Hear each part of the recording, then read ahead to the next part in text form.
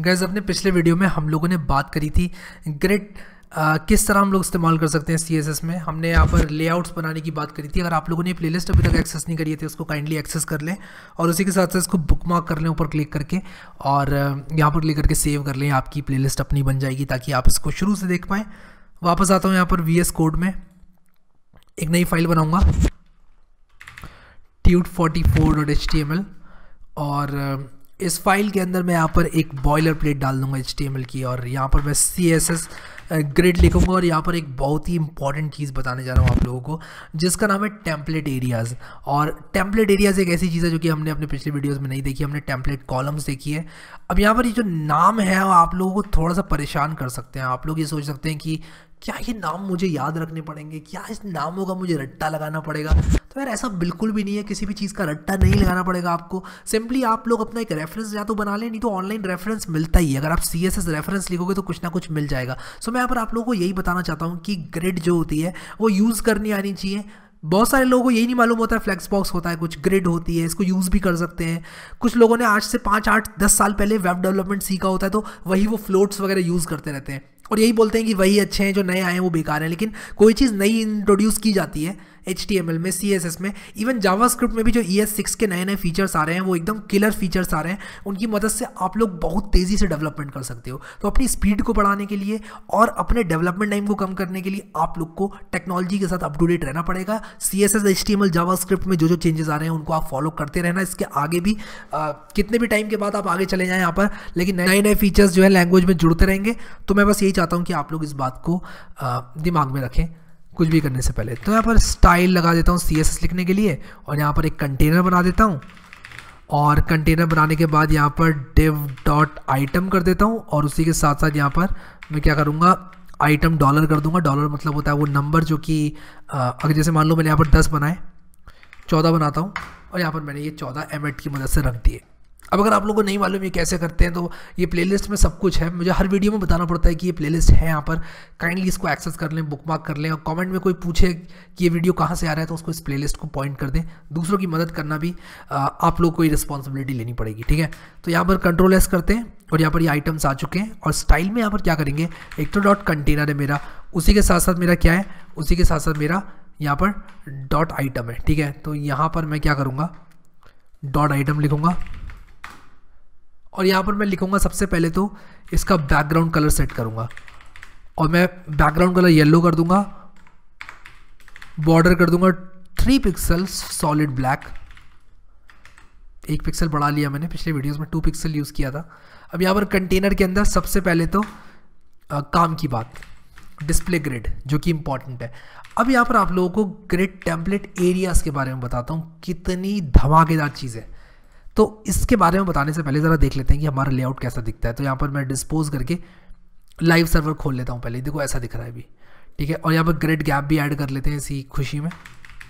किस खुशी में? कि हमारा जो ग्रेड है, उसमें बिल्कुल भी स्पेसिंग नहीं है और बहुत बेकार दिख रही थी। देखो वन रैम की ग्रेड गैप मैंने डाली तो अच्छा लग रहा है। ठीक है? सो अब यहाँ पर क्या करना है हमको? टेम्पलेट एरियाज़ क्या होते हैं?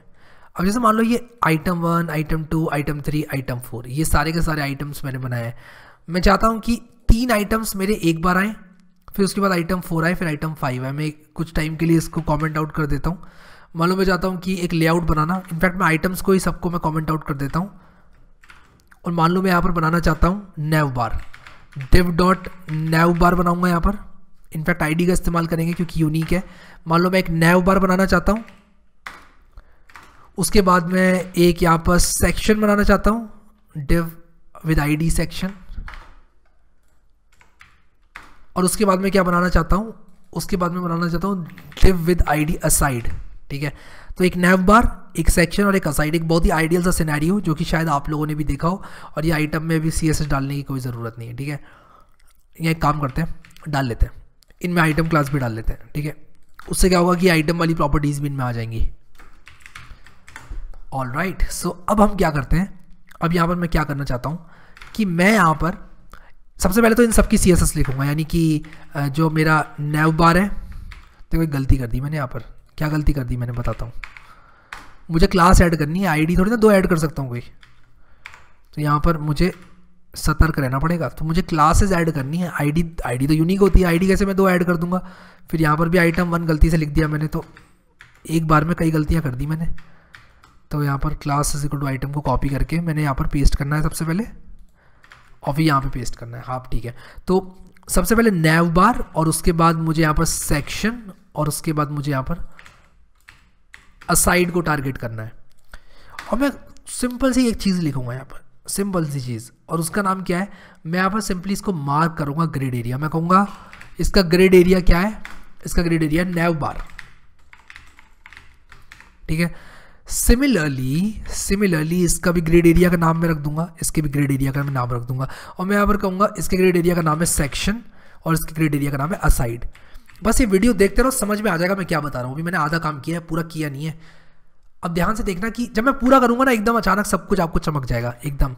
सब कुछ अचानक ही चमकेगा और आप भी कहोगे कि यार मज़ा आ गया, अरे भाई। देखो, यहाँ पर मैं क्या करूँगा नैव बार रखना चाहता हूँ, फिर उसके बाद में सेक्शन सेक्शन रखना चाहता हूँ। और सेक्शन और फिर उसके बाद असाइड अब इस बात का क्या मतलब हुआ? दिखाता हूँ आप लोग दिखाता हूँ। ये देखो यहाँ पर क्या हुआ? सो so, यहाँ पर कुछ गड़बड़ मैंने कर दिया वो गड़बड़ क्या करी है देख लेता हूँ ज़रा। और यहाँ पर गड़बड़ नहीं गड़बड़ ही दिख रही है मुझे। सबसे पहली गड़बड़ तो मुझे दिख रही है जो वो ये है कि यहाँ पर मैंने क्या किया जो टेम्पलेट एरियाज़ हैं। सबसे पहले तो आप लोगों को क्या करना है टेम्पलेट एरियाज़ में एक मेट्रिक्स आपको बनानी है। मैट्रिक्स का क्या मतलब है? उसमें रोज और कॉलम रहेंगे और हर रो में सेम नंबर ऑफ़ कॉलम होनी चाहिए। जैसे नैव बार है, ठीक है? नैव बार में यहाँ पर आप लोगों को ये लिखना है, ये लिखना है, ये लिखना है। एक, दो, तीन, चार। चार कॉलम है तो हर बार चार कॉलम ही लिखने हैं। Nav bar nav bar nav bar nav bar section section section aside ठीक है? अब देखो, इसके अंदर कंटेंट डालता हूँ कुछ यहाँ पर। मैं यहाँ पर कंटेंट डालूँगा कुछ लॉजिकल सा। मान लो मैं यहाँ पर नैव बार में डालना चाहता हूँ। क्या डालूँ? होम अबाउट कॉन्टैक्टर्स मान लो ये सब डालना चाहता हूँ, ठीक है। और उसके बाद यहाँ पर मैं डालना चाहता हूँ कुछ लॉरेम ट्वेंटी थ्री डाल देता हूँ और यहाँ पर डाल देता हूँ लॉरेम ट्वेल्व ठीक है। अब यहाँ पर क्या होगा कि ये जो आप लोग को दिख रहा है, मेरी मेरी वेबसाइट बिल्कुल इस तरह दिखाई देगी। यानी कि एक ग्रिड बनेगी जिसमें दो रोज होंगी, चार कॉलम्स होंगे। और यहाँ पर ये जो पूरा एरिया है जिसको मैंने सेलेक्ट किया है, उसमें नेव बार होगा, यानी कि पूरी की पूरी ये जगह नेव बार घेरेगा।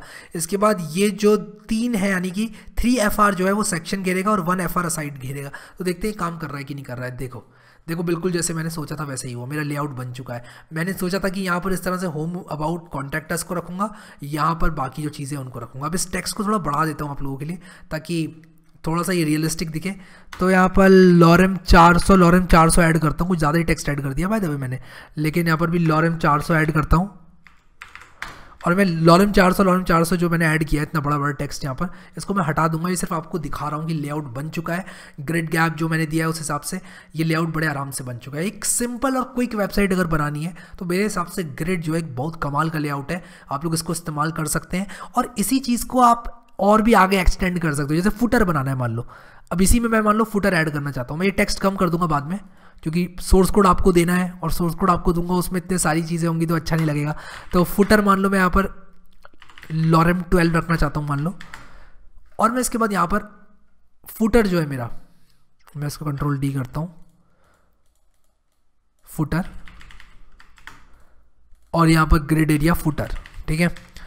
ये मैंने इसका ग्रेड एरिया का नाम फुटर रख दिया, यानी कि ये वो चीज़ है जो मैं यहाँ इस्तेमाल करूँगा। अगर मैं इसको यहाँ पर एक मिनट, सबसे पहले आप लोगों को फुटर को दिखा देता हूँ। यहाँ पर मैं फुटर फुटर फुटर फुटर करना चाहता हूँ। फुटर और कितनी बार फुटर इसको कॉपी करता हूँ। एक, दो, तीन, चार। चार कॉलम में तो चार बार फुटर और ये देखो, यहाँ पर ही आ गया। फुटर में क्लास ऐड नहीं करी थी मैंने, इसीलिए नहीं आ रहा है अच्छी तरह से तो फुटर में सबसे पहले तो क्लास ऐड करता हूँ। Class is equal to item add करता हूँ, ठीक है? तो यहाँ पर आइटम क्लास ऐड कर दी फुटर में, और ये देखो, बिल्कुल वो जो बॉर्डर वगैरह दिया था, वो सब भी आ गया। अब ज़रूरी नहीं है कि आपको बॉर्डर इतना सारा देना है, और इस बिल्कुल ऐसा ही लेआउट बनाना है। मुझे मालूम है वेबसाइट बिल्कुल अच्छी नहीं दिख रही है, लेकिन सी एस एस हमने सीखी है डिज़ाइनिंग करना आती है, हमने रिस्पॉन्सिव वेबसाइट भी बनाई है, सब कुछ हमने किया है। इसी में मीडिया क्वेरी लगा के इसको रिस्पॉन्सिव भी बना लेना। और जिस तरह से यहाँ पर मैंने आइटम लिखा है पैडिंग दे लो अगर ऐसा ही है तो 12 पिक्सल और ऊपर नीचे से 12 पिक्सल कर दी और 23 पिक्सल जो है साइडों से कर दो तो ये बिल्कुल ऐसा दिखेगा। तो मैं बस यही कहूँगा कि आप लोगों की यहाँ पर जो आकाश है वही सीमा रहेगी। इसको कितना अच्छा और बना सकते हो। तो ये एक लेआउट बन चुका है, एक बहुत अच्छी वेबसाइट बन चुकी है। यहाँ पर आप टेक्स्ट डालो। मुझे मालूम है कि ये जो अभी करंट वेबसाइट हमने बनाई है, दो हज़ार दो हज़ार क्या, उन्नीस सौ अट्ठानवे में जो बनती थी वेबसाइट है, वैसी दिख रही है।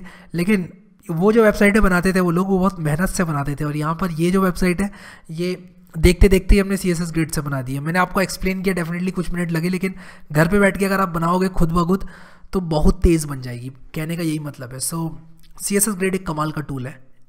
समरी समराइज इसी तरह करूँगा इस चीज़ को। और आप लोग सी एस एस ग्रिड का इस्तेमाल कर सकते हो लेआउट्स बनाने में, यानी कि पूरी वेबसाइट का लेआउट जैसे कि मैंने यहाँ पर बनाया, या फिर सब लेआउट बनाने में, सब लेआउट यानी कि लेआउट का भी लेआउट अगर आप लोग अंदर, मान लो आपने अपने फ्लैक्स बॉक्स से सब कुछ सेट कर दिया, और उसके बाद आप यहाँ पर इसके अंदर एक ग्रिड डालना चाहते हो मान लो आप इमेज गैलरी दिखाना चाहते हो यहाँ पर एक सेक्शन में तो उसके अंदर ग्रिड डाल लो आप। तो मेरे हिसाब से बहुत स्ट्रॉन्ग टूल है और अभी इस टाइम पर, जिस टाइम पर आप सीख रहे हो वेब डेवलपमेंट ये वेब डेवलपमेंट सीखने का एक ऑसम टाइम है। क्यों? क्योंकि एक तो अपॉर्चुनिटीज़ बहुत ज़्यादा हैं जॉब अपॉर्चुनिटीज़ कह लो, या फिर आप कितना यहाँ पर डिमांड आ गई है इस चीज़ की वो कह लो बहुत हाई डिमांड है डेवलपमेंट की। क्वालिटी डेवलपमेंट की तो बहुत हाई डिमांड है, क्योंकि छोटी मोटी वेबसाइट तो सभी बनाते हैं स्टैक ओवरफ्लो से तो उठा उठा के सभी पेस्ट करते हैं, लेकिन अंडरस्टैंडिंग रखने वाले बहुत कम लोग हैं।